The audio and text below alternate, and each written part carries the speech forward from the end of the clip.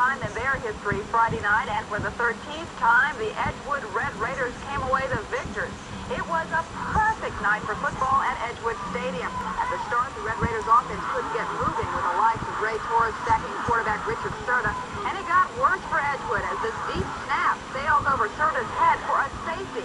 Rockets lead 2 to nothing. Edgewood's defense played aggressive all night, putting pressure on Kennedy's Daryl Villarreal with a sack by Steve Rios back to the 49, and the score remained 2-zip at the half.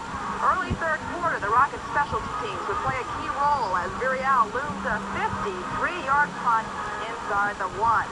Kennedy's defense takes over, led by Domingo Hernandez tackling Clay Hudspeth in the end zone for another safety. It's 4 to nothing Rockets. Sounds like a baseball score. But that would be all the celebrating Kennedy would have. The Red Raiders offense finally gets going in the fourth quarter as Serta drops way back and hits Juan Morales.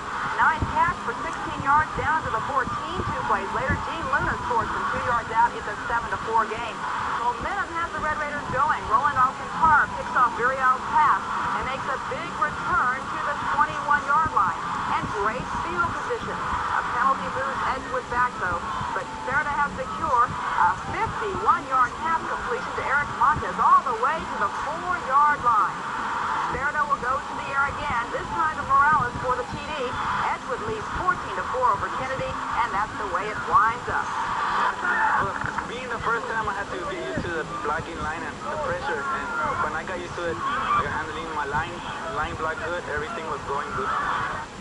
And a couple of other